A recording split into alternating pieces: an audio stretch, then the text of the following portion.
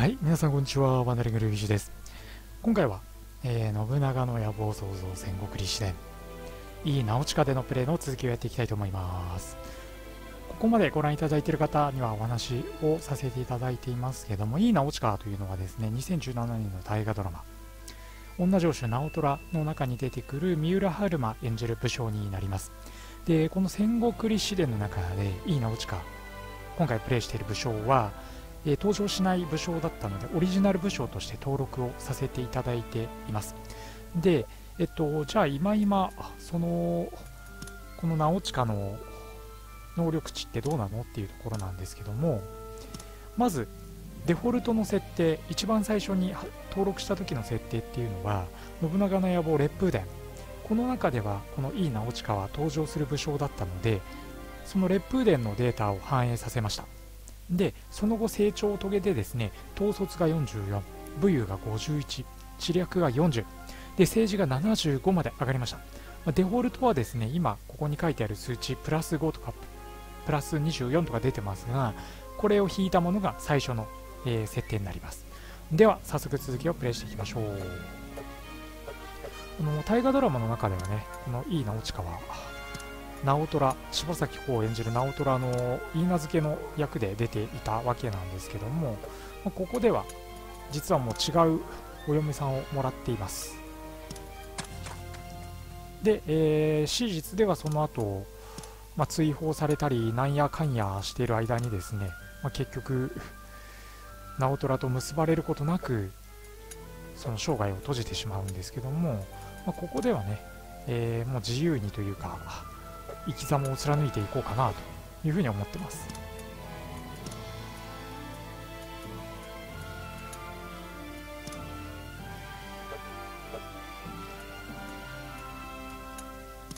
で今対足利家の軍団長に就任してますので、まあ、足利先生に配下の武将あるいは、えー軍団の与力になってくれてる城からですね武将を送り込んでいきたいと思います。では今回の攻略目標最初はこちらの内通先になっている牧島城から攻めていきましょう。でここは寝返りにします。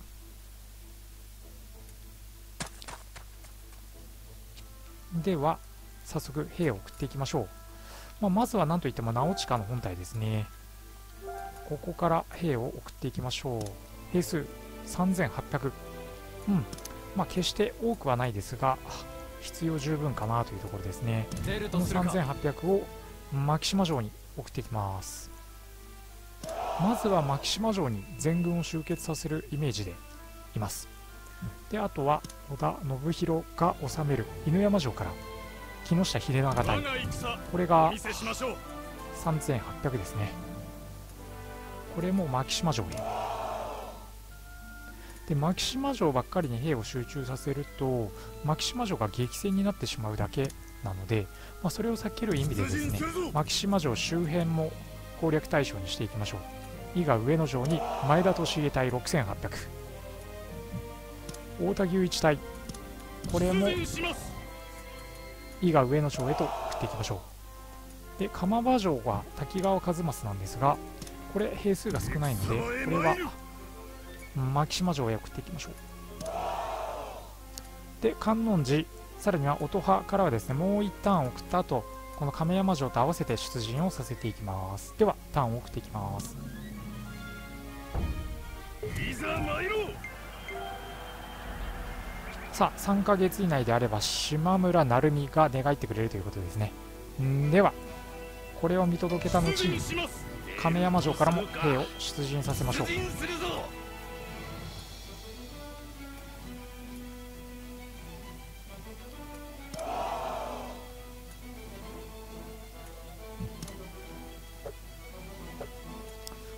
ちに足利義輝がいるな。おそらく。ってことは今がまさにチャンスだ。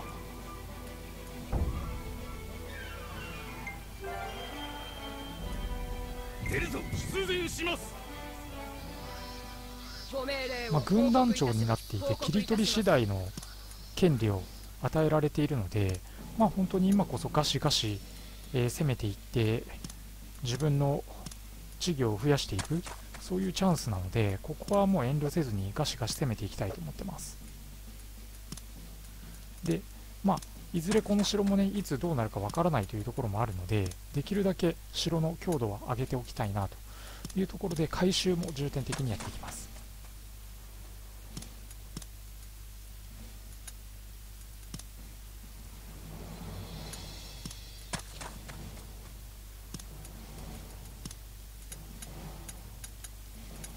とは機内へ通じる道たちも整備をしていきましょう。であとは足利将軍家に対してお国に水野元信を送って寝返りを促していきましょう。あとはもう敵の数決して多くはないので、えー、仕留めにかかるという感じですね。ただ滝川一正隊はちょっと分が悪いので一旦兵を下げましょう。でその後に攻撃戦に持ち込みます。承知いたしました。でそうこうしているうちにおそらく太田牛一隊も出てくるしあとは本体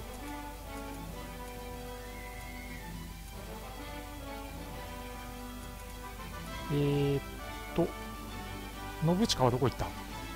信近が見当たらないぞ。ちょっと信近がどこにいるか。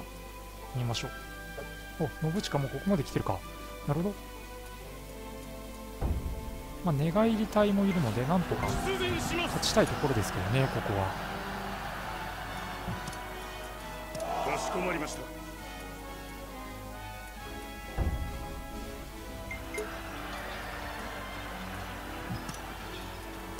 承知いたしました。いざ参ろ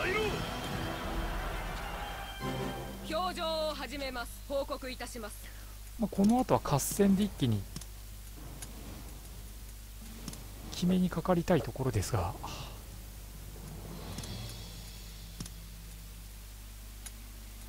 今だとどうだ？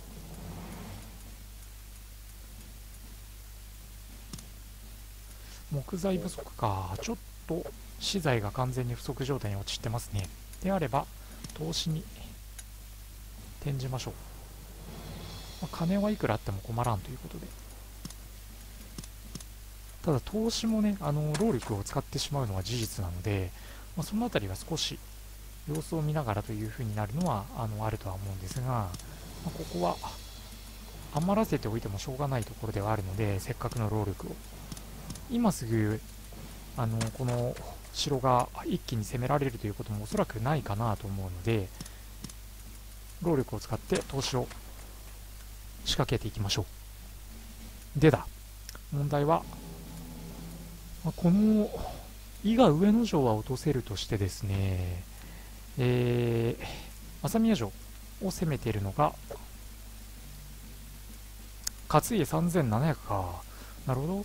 これに朝宮城を取られたくないなっていうのが本音ではあるんですがここはじゃあ石川一益石違う違う石田正嗣に蒲生貞秀、まあ、この辺りの軍勢が来てるので海戦を仕掛けていきましょう。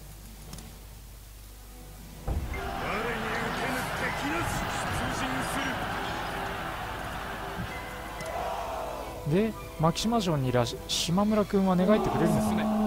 そこですよね。島村に寝返りの要請をしてはいるけど島村自体が出てこないと意味がない。で和正はもう兵がないので控えさせておきましょう。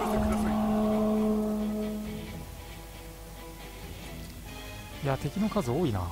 ちょっとここはこのまま戦っても勝ち目がなさそうだな。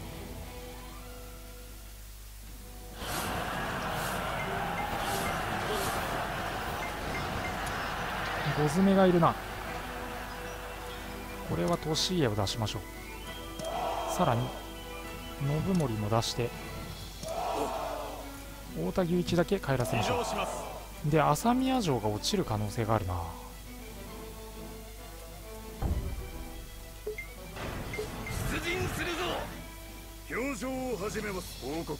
なんとか朝宮城も渡したくないというのが本音なんですよね。まあ、欲張りな話ではあるんですが、できるだけ配下の他の武将たちに渡したくない。で、完全に武将部族になってるな、今。これは残りの足利家が1、もみ城1、二条御所2、清水山城3で今攻めている牧島城と勝井が攻めてる朝宮城。なので残り5つの城があるのでこの5つの城を全部取り切れば、まあ、その足利家に仕えてる27人の武将のそのことごとくが自分たちの配下に加わるのでまずそこを狙っていきましょう。そうしないとちょっと武将の数が完全に足りない状態になってしまうので。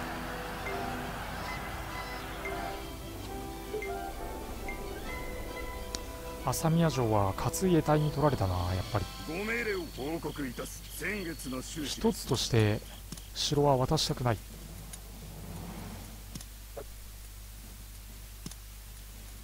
木材不足ね。木材をちょっと手っ取り早く調達するのはやっぱり取引でガツッと買ってっちゃいましょう。申し付けよでだ。その上で回収をしていきますまあ城を固めた後はまあ天守とかっていうよりかは増形門にした後は櫓とかを建てていった方がまあ焼け石に水ではあるんですけど城の防御力自体は上がるかなと思うんでまずは門櫓の順番でいつも城の方は、えー強くしていってます。でやっぱり城はね大きければ大きいほどいい。特に平城に関しては間違いなくそうなんでそこは注意しながらある程度城の大きさを保ちつつという感じですね。でいよいよ武将の数が不足してきてどうだろう各角に配置できるかな。いい直近は帰らせましょう。秀長もちょっと兵糧がないので帰らせます。んでだ残り3つの城を同時に攻めたいけどちょっと軍勢の数と武将の数に不安があるので一旦駐留させてる状態で兵を帰らせて出陣する出陣するぞ。最後の一つの城は絶対に落とさなきゃいけないので、まあ、そこだけはね何があっても間違いが起きないようにしていきましょう。で同時に家臣で54か人材誰もらえるかな。太田牛一うん。あとは木村。この辺りは政治力知略力が高いので木村さんをもらいましょう。ちょっと戦闘面ではねあまり役に立たないかもしれないんですがここは今欲しいのは何よりも武将を数が欲しいというところなのであまり選んでる余裕もなく。何なりとお申し付けよ我が戦お見せしましょう。ここは金松と松永久秀が戦ってるのか。となると5将を落とすにはちょっと兵数が足りないのでどうしようかな。もう一旦2ターン送りますか。で5将攻めに入りましょう。特に敵がというか足利義輝が表情を始めます先月のいない隙をつきたいというのは事実なのでまあ彼がいるとそれだけで奥義一戦を食らい混乱して大量に兵を失うんで、まあ、それはねどうしても避けたいところですよね。門は最優先ででっかくしていきます。あと櫓ですね。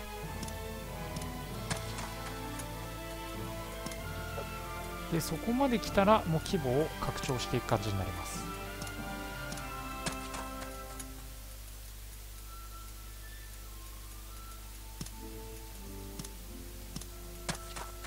でだ。こっからですね。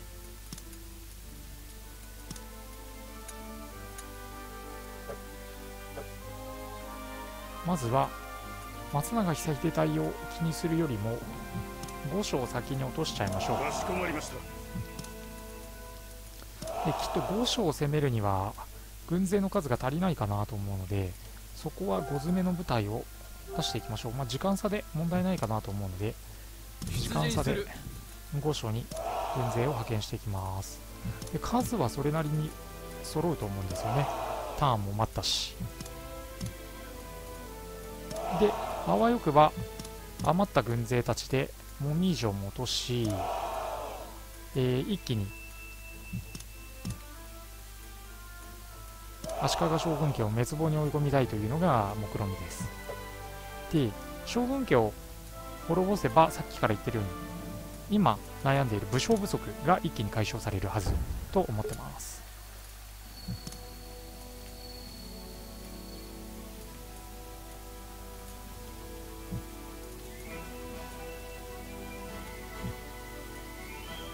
かしこまりました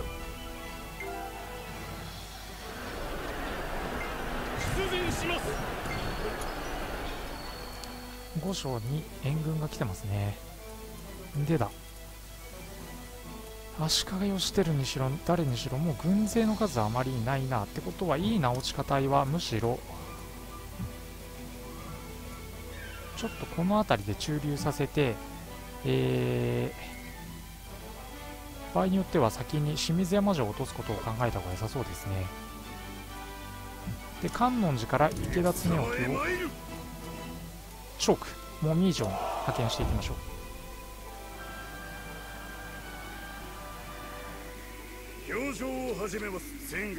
いやこれで将軍家を一気に支配下に収めることができれば将軍家というかその機内を支配下に収めることができれば政策を取り行います。今川家内で最も発言力が増しそうです出陣します出陣しますでは追撃しましょう。追撃隊を組織してもみ城まで一気に追撃戦に入ります。で直近に関してはどちらかというと清水山城に出していきます。いざ戦へ。我が戦お見せしましょう。ここは2期の話ですね清水山城の方がなんか苦戦しそうな感じですね。浅井朝倉の連合軍が援軍としてやってきてそうなそんな雰囲気があったので早々にモミーと五所を片付けて清水山に反転攻勢を仕掛けたいところですね。表情を始めます。報告いたす。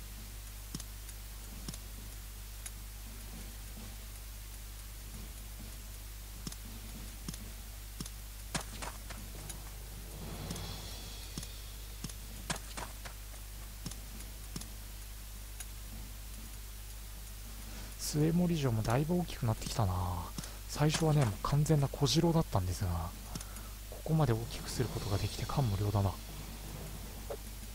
んで提案で武将が欲しいけど発言力5じゃ何もできないな。でえっともうすぐ二条御所が落ちますね。で浅井朝倉の連合軍がそれなりの兵数揃ってるんでここは海戦で一気に仕留めにかかった方がいいかな。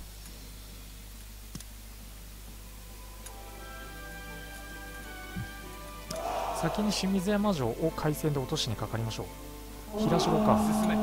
武将数というか兵数でいうと圧倒的に有利なので、まあ、このまま一気に攻め上りましょう。太田牛一7000これはかなり大きいな。でいい直近の持ってる。戦法はですね鬼赤鬼だったかな。まああの赤備え赤火の上を行くようなそんなものになってます。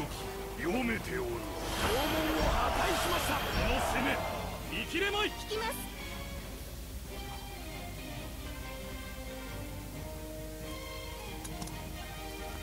やるとこもですね。敵の部隊を壊滅させたとしても敵の援軍が来る。浅井桜の援軍が到着する可能性があるので、まあ、先に縄文を天守確実に落とす方法を選択しましょう。これでもう敵の数はゼロ。で縄文も解かせる。となれば天守も解かせるということでこれで新水山城を落としましたね。で浅谷桜の連合軍がそのまま駆けつけるようであればこれを迎え撃ちましょう。で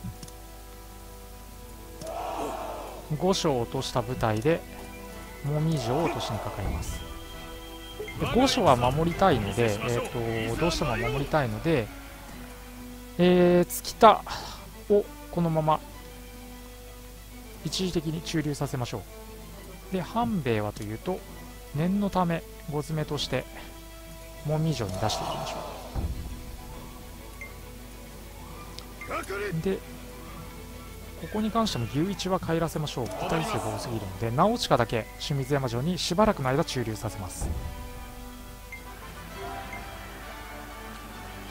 独立の誘いが来てますがまだ早い。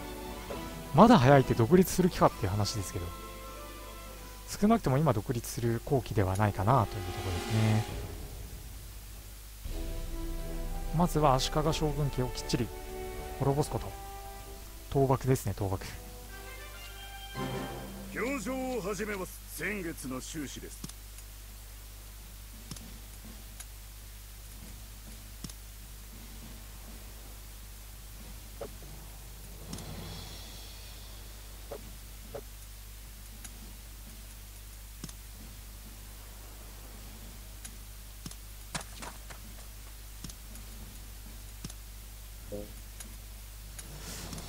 全然武将の数が足りてないからな。何をするにせよ。御所に人が入れられないって相当だよな。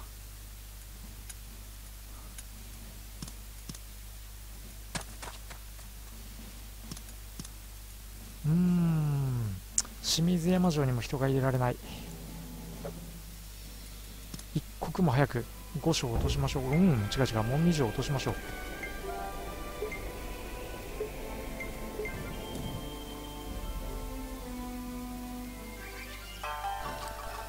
平手正秀が死にましたね。信長の森役だったとも言われてますが。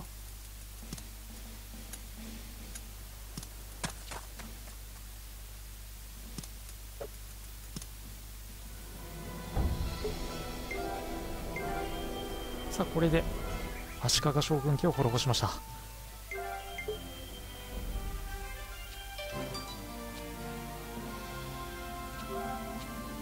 で次が旗野家の攻略ね。軍団長になったか。ご命令を。先月の収支です。でほとんどの武将たちがえー、去ってったわけだな。戻るとするか。我が元を。ただ切り取り次第で取った城たちに関しては、えー自分の領地になってるはずというかなってるので今の領地はもみ二条御所二条御所を抑えてますからね牧島。さらには伊賀上野。音羽観音寺清水山。さらに釜場と今現在の本拠地末森の城を領有してます。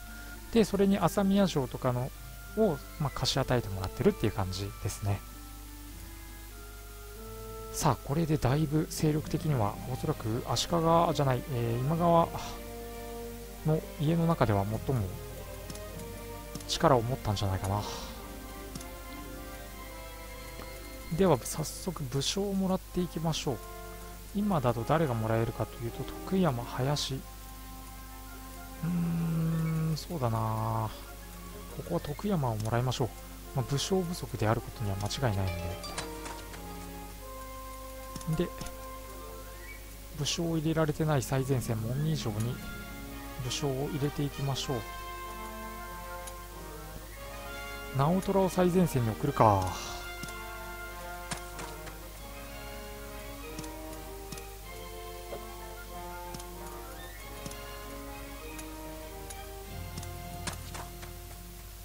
この後ね何ターンか送っているとおそらくおそらくというか確実に。通信する我が戦お見せしましょう。武将が登用できるはずなのでまずはそこになりますね。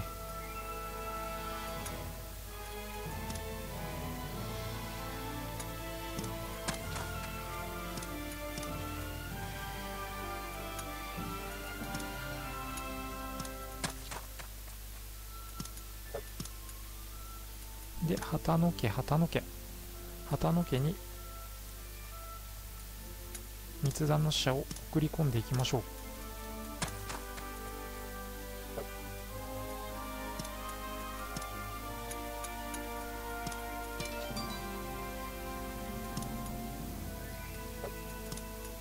まあ、いかんせん武将不足というかどうにもならない状態になってますからね。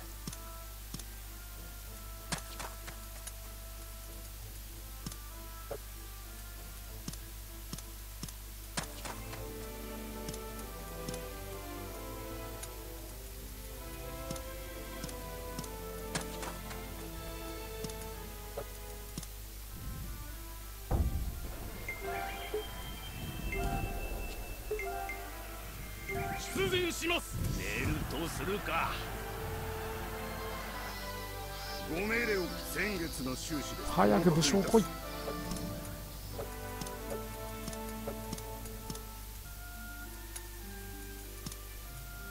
今は一刻も早く武将を補充したいところなんですけどね。なかなかそうはさせてくれないな。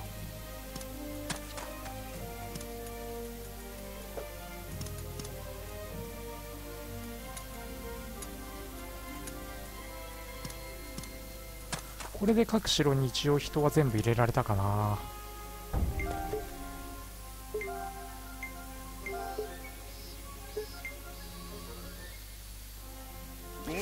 あれ？もしかして何？武将補充できない系かな？武将は絶対補充したいんだけどな。というか補充しないとはっきり言ってもうどうにもならないところに来てしまってるんですけどね。ではちょっとこの後武将のね補充ができるかできないかっていうところも見極めつつ次の作戦を考えていきたいなと思いますんで一旦、えー今回はこれで終わりにさせていただいて、えー次回ですね、えーこの続きをまたしっかりとプレイしていきたいと思います。というわけで、え今回はここまでにしたいと思います。最後までご視聴いただいた方ありがとうございました。また次回もよろしくお願いいたしますはい、えーご視聴ありがとうございましたこの動画が面白いと思った方はチャンネルの登録をお願いいたします動画の視聴画面の下の方からチャンネル登録することができますので、ぜひよろしくお願いいたします。また、動画の解説欄に Twitter のリンクも貼ってありますので、ぜひ Twitter のフォローもよろしくお願いいたします。